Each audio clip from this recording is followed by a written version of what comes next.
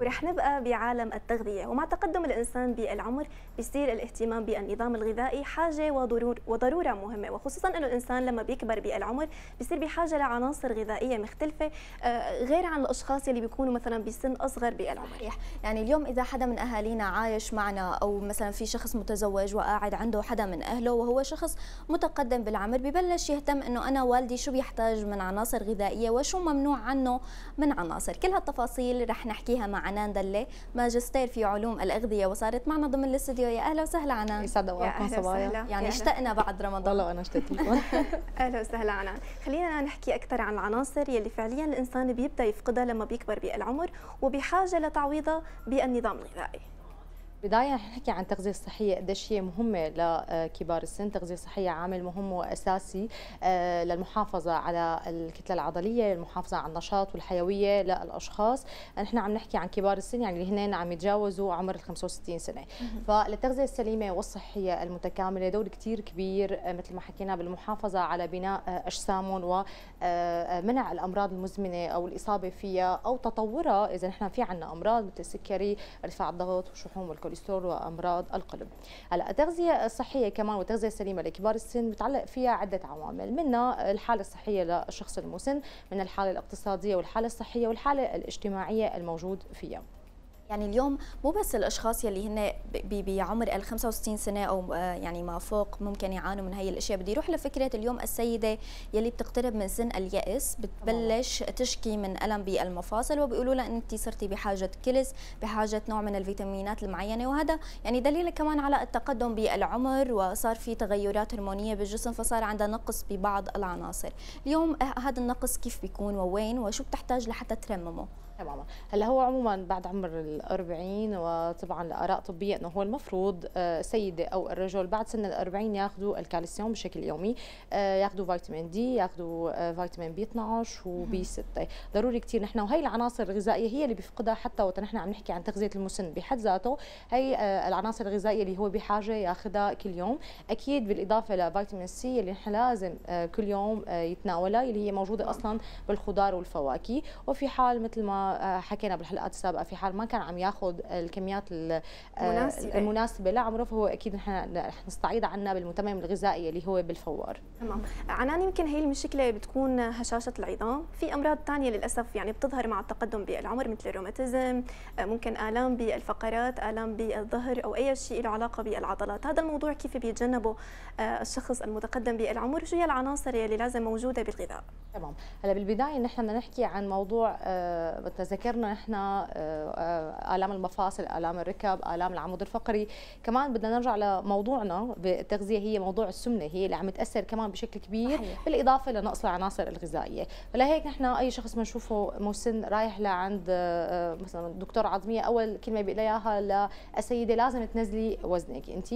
لازم تبلشي بنظام غذائي لتخفيف الوزن لأنه أنت عم يزيد عندك الوزن من الآلام وبالاضافه لنقص العناصر الأخرى. فأكيد لازم نحن نحافظ على نظام غذائي صحي وقت نحن عم نقول الكالسيوم فنحن عم نحكي عن مجموعة الأجبان والألبان. آه وقت نحن عم نحكي عن بي 12 فنحن عم نحكي عن اللحوم الحمراء. آه بي 6 ممكن بالخضار بالحبوب الكاملة. وفيتامين دي آه للأسف إذا نحن ما عم نطلع نتعرض للشمس فنحن بدنا نستعيد عنها بالمتممات الغذائية وبالأسماك. ما بدي أنسى كمان الأوميجا 3 كثير ضروري بالمراحل المتقدمة من العمر اللي أنا كمان فيني آخذها من الأسماك من الجوز من المكسرات النية. كمان آه نحن بهي المرحلة الحرجة بنخاف إنه نحن ما عم ناخذ الكميات المسموحة أو الضرورية. بنرجع بنقول فنحن بهي المرحلة ضروري ندخل المتممات الغذائية. كنتي عم تحكي على فكرة الوزن اليوم. يعني أنا ما بدي أعمم ولكن كثير حالات بنشوفها إنه هن طول حياتهم بيكونوا آه، نحاف يعني. بس بلشوا يكبروا بالعمر بيصير عندهم بدانة غير مبررة يمكن إنه هن ما بيكونوا عم ياكلوا هذا الأكل الشره لحتى يوصلوا لهذا الوزن. اليوم شو السبب بهي البدانة عند كبار السن؟ يعني بنشوفها بكثير من الحالات مثل ما قلت ما بدنا نعمم ولكن هي موجودة. تمام هلا هي نقطه بنحكي عليها دائما حتى للصبايا الصغار والعمر. يعني أنا بفترة ال20 غير فترة ال30 و30 غير ال40 انه أنا كل ما كبرت بالعمر الحالة الاستقلابية والاستقلاب عندي عم بيقل. تمام؟ فأنا مثلا بعمر 30 وقت كنت آه، آكل هي الكميات وقت كنت مثلا آكل رغيف خبز على الفطور أنا صرت بدي آكله وأنا بعمر ال 40 صار يزيد لي وزني لأنه أنا الاستقلاب عندي قل طبيعة هرمونات الجسم كمان قلت انقطاع الطمس كمان آه، بيأثر تمام بخربط الهرمونات بالجسم وبالتالي بصير أنا حاجتي للطعام أقل لهيك بقل حاجتي للسعرات الحرارية. فهي الكميات اللي عم باكلها صارت تسمني مع إني أنا قبل 10 سنين إنه كنت آكل نفس الكميات من الاكل وما كان يزيد وزني. فهون أنا بدي انتبه بدي اتناول أنا ما عاد فيني مرق مثل السنوات السابقة. بدي أنا انتبه إنه أنا هذا الطعام يعني هي السعرات الحراريه لازم آخذها. خليها تكون مصادر غذائية مفيدة لجسمي أنا. كمان هون بقى بدنا نقول نحن إنه لازم أي نشاط رياضي لأنه نحن دائما خاصة المرأة بتكون مطنشة حالها أو مهملة حالها بالسنوات السابقة 20 و 30 بحكم لما بيوصل الإيجاب والولاد تمام. وقت بنصير بهذا العمر بتصير بتقول يا ريت ويا حيف ويا ندم.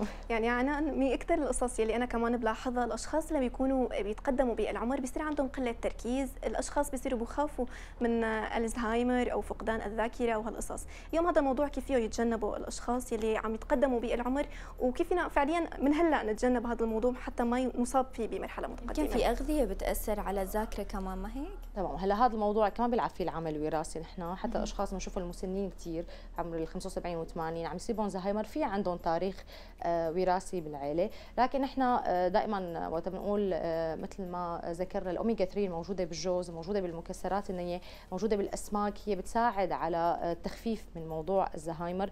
كمان في عنا قصص فينا نحن نعملها القراءة أو أي ممكن نحن أعمال نعملها. هي مم. تشغل الذاكرة تشغل الدماغ والمخ فهي دائما بيكون هو عم يشتغل. يعني نحن دائما القراءة كثير موضوع فعال بهذا الموضوع. لكن عم نحكي نحن عن كبار السن فنحن تجاوزنا آه، هي المرحلة.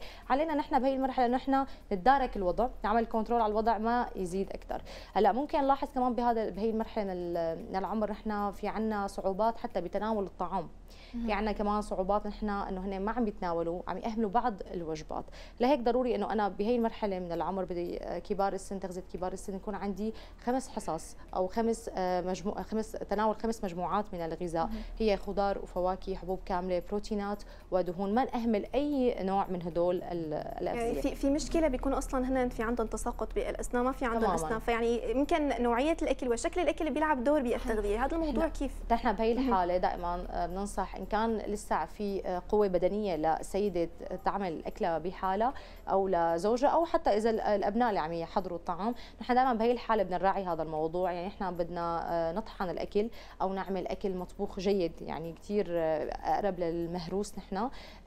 كمان في دائما في عندنا موضوع إنه هن بيعانوا من ارتفاع الضغط أغلب المسنين. فنحن بدنا ننتبه لكميات الملح اللي عم تنضاف للأكل. صحيح. آه بدنا نخفف مخللات بدنا كمان موضوع الشوربات الجاهزه نخففها. دائما نحاول نعمل هي القصص بالبيت حتى نحن نتحكم بكمية الملح اللي عم ينضاف. كمان آه مرقة الدجاج بدنا نخفف من آه تناولها لأنه بتحوي على كميات عالية من الصوديوم. صراحة يعني أنا آه، هي هي هذا التصرف أو هذا السلوك بيلفتني دائما إنه في أشخاص بشوفهم إنه هن كانوا يتناولوا مثلا الملح بطريقة عادية بس بلشوا يتقدموا بالعمر صار عندهم حب لهذا الشيء ما بعرف بتحسي في شيء مرتبط هو داخليا. هو كل شيء ممنوع مرغوب بيصير عند عند كلياتنا حتى نحن بأعمار صغيرة كل شيء ممنوع مرغوب.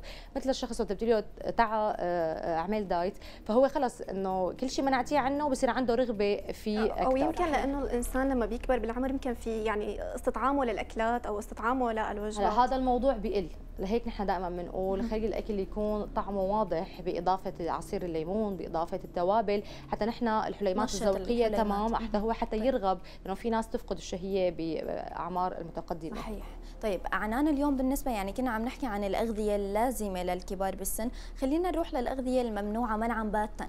في أشياء ممكن نحن بنسهى عنها ممكن نقدمها لأهالينا. بالمقابل هي حتأثر وتعمل ضرر كثير كبير لهم هلا بالبداية الحلويات والسكريات المضافة والسكر الأبيض. والسكر الأبيض. آه، أكيد يعني نحن آخر شيء بدك تراعي المجتمع اللي عايشة فيه وتراعي البيت اللي عايشة فيه. أكيد مو 100% رح يكون الامتناع لكن دائما حكينا ضبط وكنترول للموضوع. يعني أنا مرة بالأسبوع آه، زيادة كل فترة لفترة إنه أنا أجيب ممكن اكلات حلو بالبيت. ممكن يعني مو ممنوع 100% لكن أنا ما يكون عندي عادات يومية. يعني أنا ما أقوم أشرب الشاي أو أبي أو أمي تقوم تشرب الشاي. دائما السكر الأبيض آه، قدامه نحن في عندنا بدائل غذائية. هلأ ممكن السكرين ممكن أفضل من السكرين يلي هلأ كثير سكر ستيفيا. سكر ستيفيا يلي هو ما له أضرار لأنه هي نبتة طبيعية عم تعطي هي الحلاوة. فأنا لازم أمن بدائل صحية لوالدي ووالدتي اللي هن صاروا بهي المرحلة. ممكن لسه ما بيعرفوا هي القصص اللي هلأ نازلة. تمام. يمكن من أكثر يعني الحالات الموجودة بكبار السن فاطمة يعني إنه نحسهم دائما عندهم فقدان بالشهية. أحيانا بيضيق خلقهم من الأكل على قد ما داقوا على قد ما هو يعني خلقهم من كل شيء حتى من الحكي أحيانا. فانه هذا الموضوع كيف فيهم؟ ممكن إنه يعالجوه الأشخاص المحيطين فيهم إذا ما كان يعني عندهم قدرة أنه هن يطبخوا بأنفسهم كبار السن. هذا الموضوع كيف فينا نتجنبه وكيف فينا نساعدهم بهذا الموضوع؟ لا بالبداية لازم نحن يكون عندنا آه، وجبات صغيرة مقسمة. يعني آه، ممكن بهي المرحلة ما عاد هو عنده هي الشهية اللي هو يتناول صحن كبير من الغداء. فنحن أكيد بدنا نقسمه على وجبتين. حتى وجبة الفطور تتقسم على وجبتين. يعني بالنهاية يكون عدد الوجبات عندي من خمسة لسته في حال كان ما فيها الشهيه الكثير كبيرة فأنا لازم مرق بين الوجبات سناكات. هي سناكات تكون مثل ما بنقول بالعادة شرب السعرات الحرارية يعني تكون كعصائر بس عصائر مغذية يعني ممكن عصائر فواكه طازجة ممكن تكون كوكتيلات موز وحليب ممكن تكون نحن ضايفين زبدة الفول السوداني. حتى نحن ناخذ بروتينات وكربوهيدرات من هي العصائر. آه كمان كثير ضروري نحن نتناول البيض بهي المرحلة. نحن بجميع المراحل العمرية بنوصي بتناول البيض. آه لكن هي كمان نركز على هذا الموضوع. كمان في شغلة قبل ما ننسى هن بيعانوا من مشكلة الإمساك. أغلب آه تمام. آه كبار السن بيعانوا مشكلة الإمساك. بسبب إهمالهم للخضار أكثر من الفواكه. ممكن الفواكه أغلب العالم بتحبها لكن الخضار دائما منسية. يعني إحنا حتى الأشخاص العاديين ما بيتذكروا الخضرة غير وقت الدايت إنه أنا لازم آكل سلطة فلأني متبعة نظام غذائي. فدائما وجود آه، حصص من الخضار ضروري كثير لتجنب الإمساك.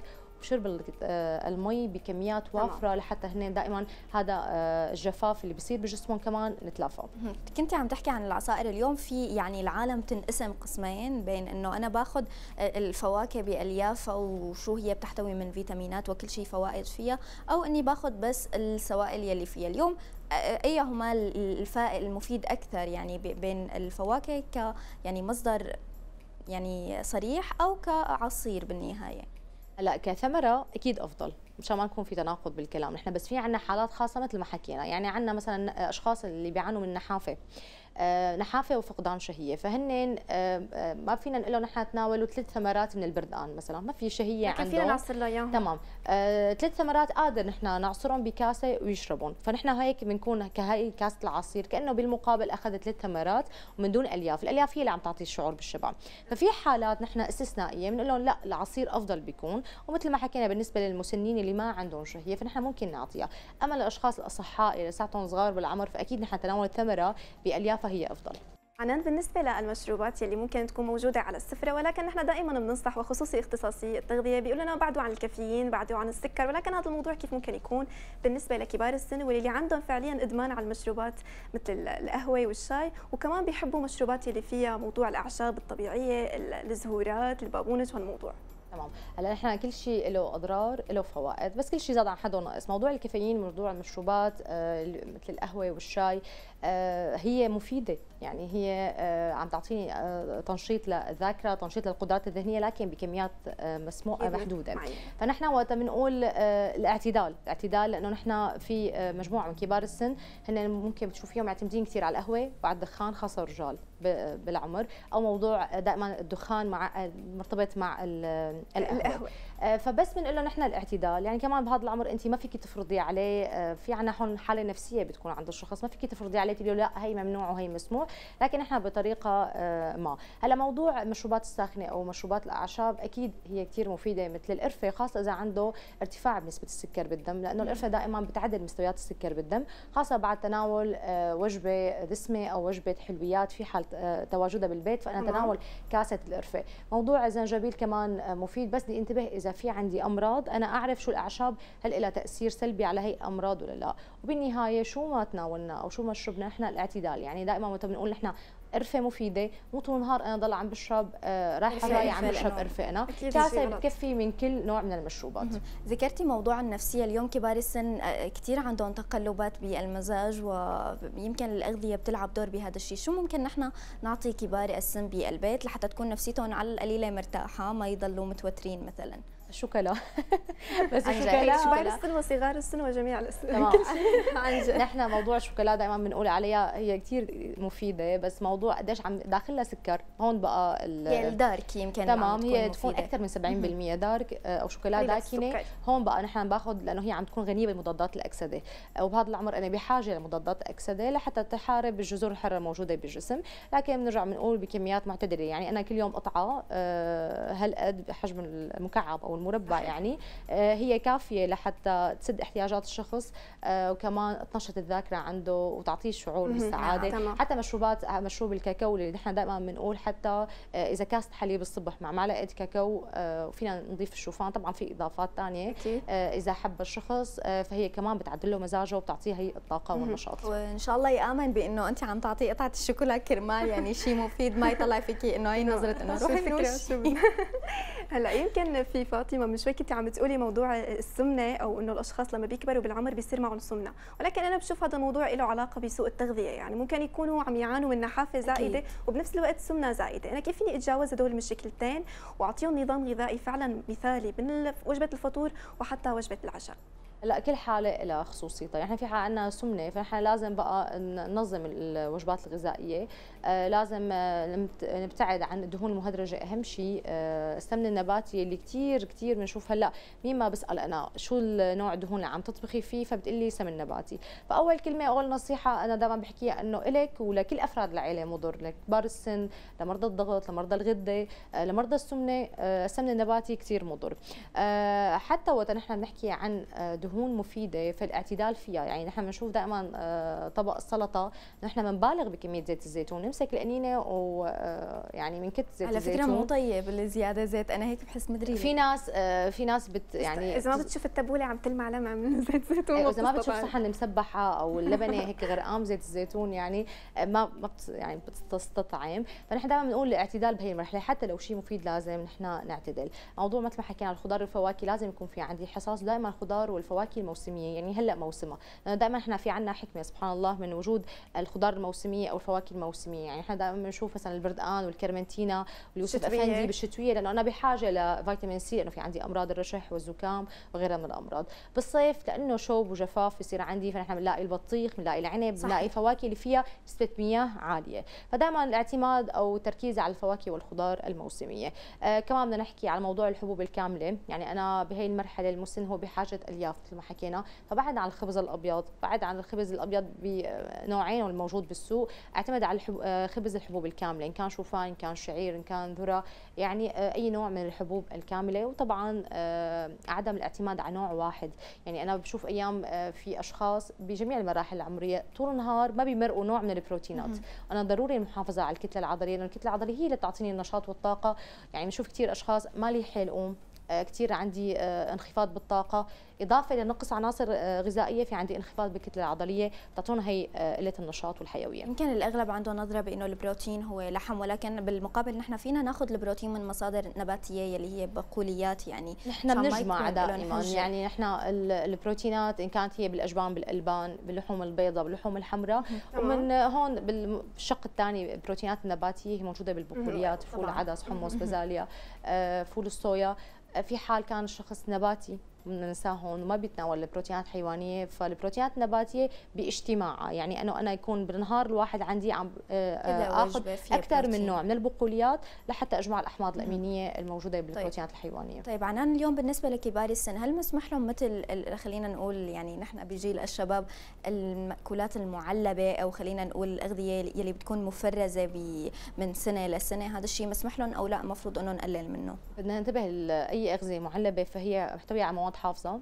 محتوى كمان عم بيجوز على كمية أملاح عالية بعض المعلبات. فأنا هذا اللي حكيناه ببداية المقابلة إنه نحن بدنا نخفف من كمية الأملاح والمواد الحافظة. آه، في حال آه، ولا بد نوجد وبدنا نحن نتناولها فيتم غسيل المادة خاصة مثلا الفول المعلب نحن. في حال بدي تناوله نغسله منيح كرمال نتخلص من هي المواد تمام. الحافظة. اليوم يعني هيك بختام الحديث بدنا هيك نصائح والقواعد الذهبية لملخص كل شيء حكيناه اليوم.